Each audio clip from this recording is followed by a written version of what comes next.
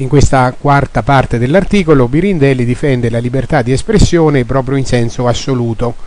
Libertà di espressione vuol dire libertà di espressione. Nella sentenza Sullivan, la Corte Suprema degli Stati Uniti, per quanto rappresentasse un passo avanti importantissimo a difesa della libertà di espressione, aveva due grossi limiti. Non ha garantito una libertà di espressione assoluta, e eh, ha garantito una relativa libertà di espressione solo nei confronti dei pubblici ufficiali e non invece anche nei confronti eh, dei privati cittadini. Infatti eh, i casi di diffamazione fra privati continuavano ad essere regolati dalla common law, che era estremamente ostile alla libertà di espressione. Dice Pirindelli, il limite della sentenza Sullivan eh, sta nel fatto che ha inteso la libertà di espressione come libertà di espressione nel caso in cui è a condizione che, mentre invece libertà di espressione vuol dire libertà di espressione in tutti i casi, cominciando dalla libertà di espressione nei confronti di chiunque.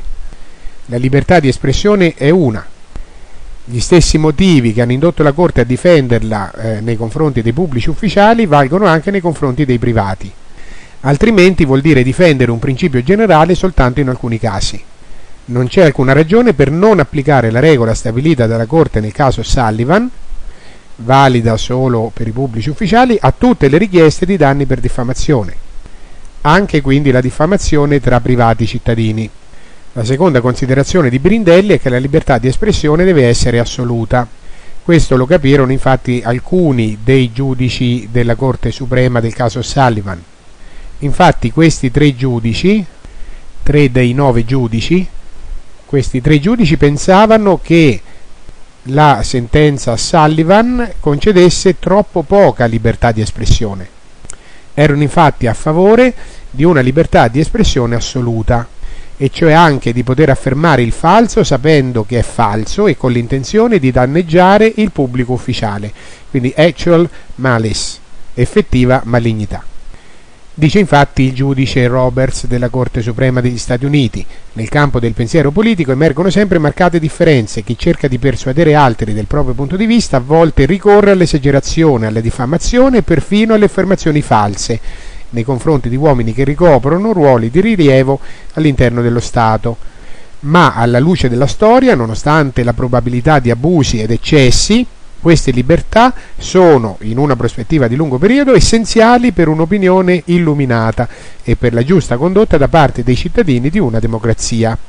Scrive Birindelli che non ripete le sue riserve sulla democrazia totalitaria dove la volontà della maggioranza è legge, tra virgolette, con la L minuscola perché non è la legge con la L maiuscola che è il principio generale, cioè quello che i libertari chiamano il principio di non aggressione.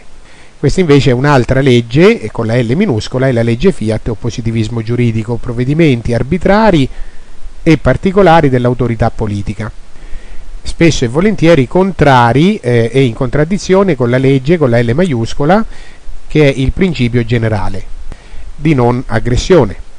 Tornando agli Stati Uniti, alle sentenze a Sullivan, il giudice Black fece notare che la, la, la, malignità malice è un concetto elusivo astratto difficile da provare e difficile da confutare, che può essere utilizzato per limitare la libertà di espressione. Egli affermò che una libertà di espressione assoluta nei confronti pubblici ufficiali è l'unico modo per difendere la libertà di espressione e in questo è d'accordo con Jefferson, la libertà di stampa non può essere limitata senza essere persa.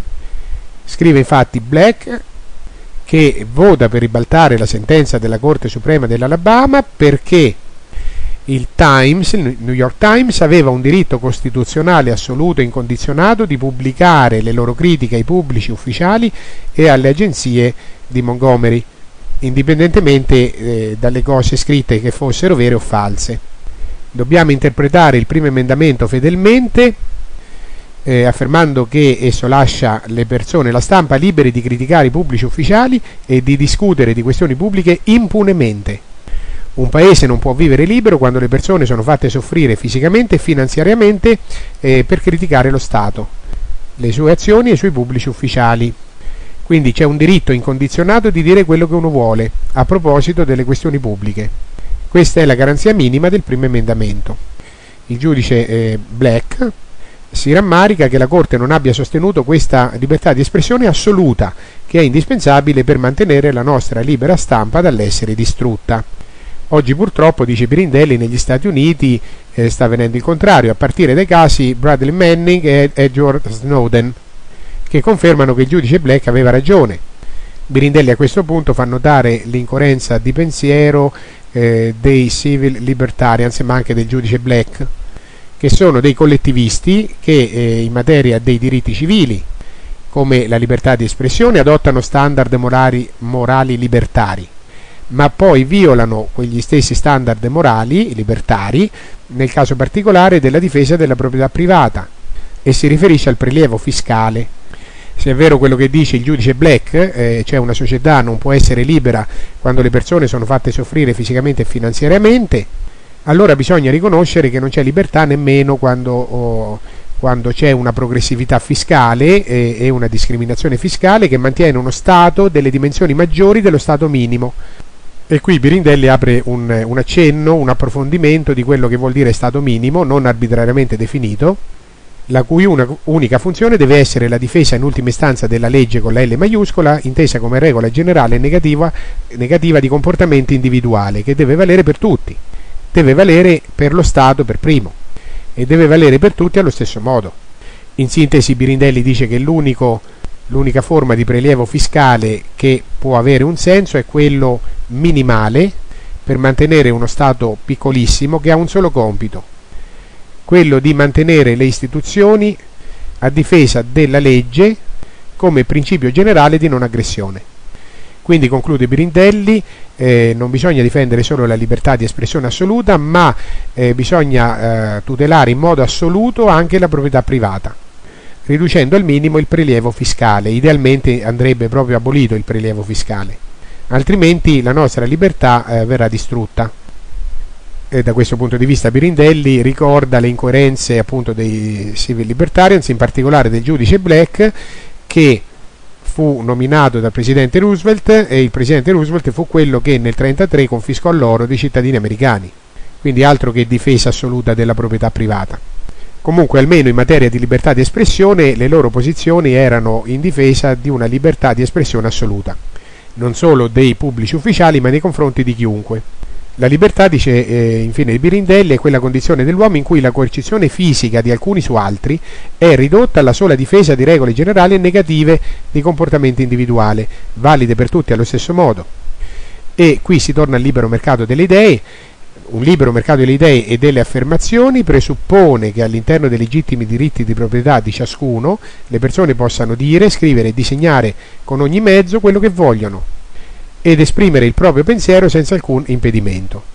Infine Birindelli spiega con un esempio cosa significa all'interno dei legittimi diritti di proprietà di ciascuno. Fa l'esempio di una persona che durante la proiezione di un film in un cinema si mettesse a parlare a voce alta sarebbe certamente da condannare e da allontanare, allontanare dalla sala, ma non perché eh, si vuole limitare la sua libertà di espressione, ma perché eh, quella persona violerebbe le regole stabilite dal proprietario del cinema, cioè violerebbe eh, il rispetto dei diritti di proprietà eh, appunto del proprietario del cinema, perché impedirebbe il eh, normale svolgimento eh, della proiezione del film. Pirindelli passa poi a, a ehm, considerare in rassegna una serie di obiezioni che non hanno fondamento, obiezioni alla libertà di espressione assoluta, obiezioni che vanno di moda fra i collettivisti. Una di queste obiezioni, eh, eh, l'abbiamo già analizzata a fondo, è quella di eh, lasciare, eh, che non si dovrebbe eh, lasciare libere le persone di accusare qualcun altro oh, dicendo cose false abbiamo già visto che invece è eh, il caso di permettere anche l'accusa fondata su cose false, perché diciamo così è il male minore. Censurare invece l'espressione di cose false porterebbe a danni molto più gravi. Vediamo adesso le altre obiezioni eh, alla libertà di espressione assoluta, il diritto alla reputazione. Come spiega eh, Murray, Murray Rothbard, non esiste alcun diritto alla propria reputazione in quanto questo diritto presupporrebbe un diritto ad un particolare pensiero di altre persone. La Corte Suprema invece in relazione al caso Sullivan aveva cercato un punto di equilibrio fra libertà di espressione nei confronti dei pubblici ufficiali e il cosiddetto diritto dei pubblici ufficiali alla salvaguardia della loro reputazione. Ed è per questo che eh, la sentenza Sullivan è incompleta. Birindelli torna a ribadire che in una società libera è lo stesso mercato delle idee, delle opinioni, delle affermazioni e della credibilità che eh, è più che sufficiente a difendere la reputazione degli individui e delle organizzazioni. Se le persone fossero lasciate libere di esprimere le loro opinioni, la reputazione dell'Agenzia delle Entrate, per esempio, si mostrerebbe immediatamente per quello che è. Quindi rileggiamo, è lo stesso libero mercato delle idee, delle opinioni, delle affermazioni e della credibilità ad essere più che sufficiente a difendere le reputazioni degli individui e delle organizzazioni. Altra obiezione è quella dei discorsi offensivi che non ha senso perché se il criterio dell'offensività fosse applicato coerentemente qualunque espressione del pensiero potrebbe essere censurata e punita. Ciascuno infatti eh, può sentirsi offeso per infiniti motivi diversi, è un concetto individuale. Dice il giudice Harlan ciò che per qualcuno è volgarità, per un altro è lirica. Per esempio un libertario troverebbe offensivo che eh, si parli di giustizia sociale perché questo presuppone il saccheggio legale, il furto e la violazione dell'uguaglianza da- davanti alla legge, quindi la violazione della libertà. Ma offendersi per questo oh, vorrebbe dire eh, non essere libertari, vorrebbe dire eh, fare lo stesso errore dei collettivisti, cosa che Birindelli non fa e quindi eh, non può trovare offensivo la limitazione della libertà proprio perché sta dalla parte della libertà e non si sognerebbe mai Birindelli di invocare la violazione della libertà per non sentirsi offeso. Birindelli ricorda un episodio, eh, sempre negli Stati Uniti, eh, il caso Texas contro Johnson del 1989, in cui la Corte Suprema degli Stati Uniti ha giudicato incostituzionale una legge del Texas che eh, rendeva criminale deturpare la bandiera in modo tale da offendere le persone il caso di te- deturpare la bandiera in modo chiaramente offensivo è del tutto analogo a quello di pronunciare frasi del tipo Italia paese di merda, che invece come abbiamo visto da noi in Italia eh, è, è, qualcosa che viene punito regolarmente, come anche in Corea del Nord. Dopo ci, ci tornerà Birindelli su questo parallelismo, questo paragone fra l'Italia e la Corea del Nord. Il giudice Brennan della Corte Suprema dice eh, se c'è un principio fondamentale alla base del primo emendamento è proprio che lo Stato non può proibire l'espressione di un'idea semplicemente perché la società la trova offensiva o spiacevole, nemmeno nei casi più odiosi, come quello della manifestazione neonazista che avvenne nel villaggio di Skogje nell'Illinois dove vivevano numerosi sopravvissuti dell'olocausto. Pirindelli ritornerà più avanti su quell'episodio della manifestazione neonazista eh, quando parlerà di violenza psicologica. Adesso però eh, affronta il tema della sicurezza nazionale. Anche questa è un'obiezione spesso sollevata contro la libertà di parola, quello di difendere eh, la sicurezza nazionale, quindi anche la stampa deve fare i conti con questa uh, sicurezza nazionale. Pensiamo ai casi dei whistleblowers come Ellsberg nel caso dei Pentagon Papers, Manning, Manning per la collateral murder e Snowden per la Datagate cioè sono tre personaggi che hanno diffuso notizie che sono state eh, considerate pericolose per la sicurezza nazionale e quindi condannati dallo Stato degli Stati Uniti. L'obiezione eh, appunto di limitare la libertà di parola per eh, motivi di sicurezza nazionale è eh, sollevata dai collettivisti di destra e di sinistra, in special modo dai parassiti con responsabilità di governo. Il termine sicurezza nazionale ha una valenza collettivista simile a quella del termine giustizia sociale. Presuppone infatti che la nazione esista come unità fisica e inoltre antepone la sicurezza della nazione, ammesso che esista, a quella di singole persone e al rispetto della legge intesa come principio. Dunque parlare di sicurezza nazionale ha lo stesso senso logico che parlare di giustizia sociale, cioè nessuno. Non ha nessun senso l'unica sicurezza è quella dell'individuo, cioè quella condizione dell'individuo in cui lui è protetto dalla violazione da parte di chiunque altro della legge intesa come regola generale negativa di comportamento individuale, valida per tutti allo stesso modo. E quali sono le organizzazioni che più di tutte le altre compromettono e violano la sicurezza dell'individuo? Sono proprio gli Stati e sempre più spesso lo fanno in nome della sicurezza nazionale. La sicurezza nazionale è diventata un pretesto per violare la libertà di parola e di stampa e per estendere il potere assoluto dei governi. In molti casi la Corte Suprema degli Stati Uniti si è inchinata di fronte alla CIA e al pretesto di sicurezza nazionale, producendo un'eccezione al primo emendamento.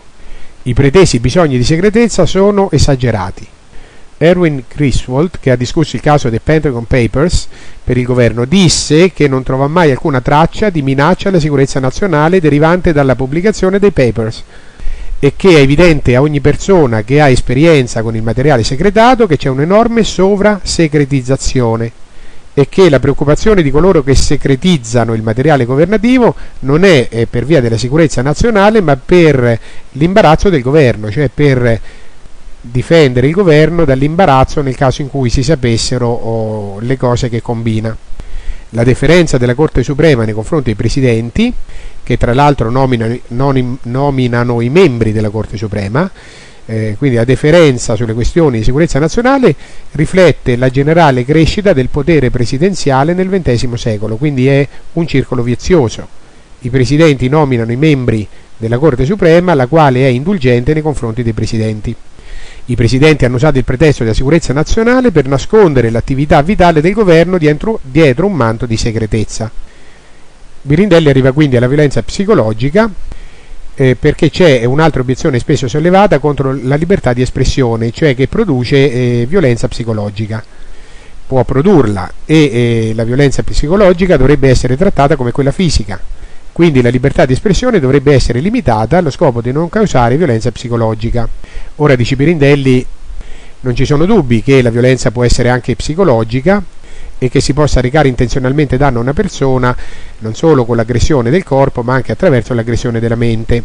E qui riprende eh, l'esempio che aveva accennato prima dei nazisti americani che nel 1977 hanno fatto una manifestazione in questa cittadina dell'Illinois dove c'era un'alta concentrazione di sopravvissuti ai campi di concentramento e hanno sicuramente esercitato violenza psicologica su queste persone. Tuttavia valgono le stesse considerazioni eh, fatte sui discorsi offensivi. Per quanto amaro sia questo fatto, libertà di espressione e possibilità di violenza psicologica sono inscindibili, non è possibile avere la prima senza la seconda. Anche quando la violenza psicologica è esplicita, consapevole e intenzionale, non può essere eliminata o anche soltanto limitata senza annientare la libertà.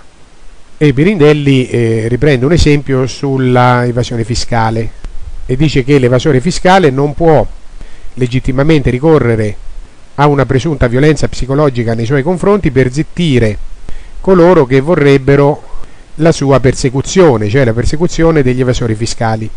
Nemmeno se eh, i suoi persecutori facessero venire eh, l'ulcera all'evasore fiscale o addirittura farlo morire da infarto, di infarto. Quindi la violenza psicologica non può essere riconosciuta, eh, mentre invece il ricorso alla violenza per reagire all'azione violenta da parte dello Stato è un altro discorso. Infine l'ultima obiezione è quella della violenza fisica. Anzi, non è un'obiezione per dire che la violenza fisica o la minaccia di violenza fisica è uno dei pochissimi casi in cui la libertà di espressione assoluta trova veramente un limite legittimo.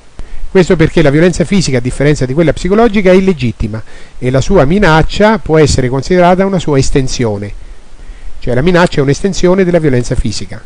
Birindelli riprende l'esempio dell'evasore di prima, dice se Tizio dice all'evasore Caio che dovrebbe essere messo in galera, questa è una violenza psicologica che in realtà non può essere riconosciuta, quindi deve essere lasciato libero di, eh, di dirlo.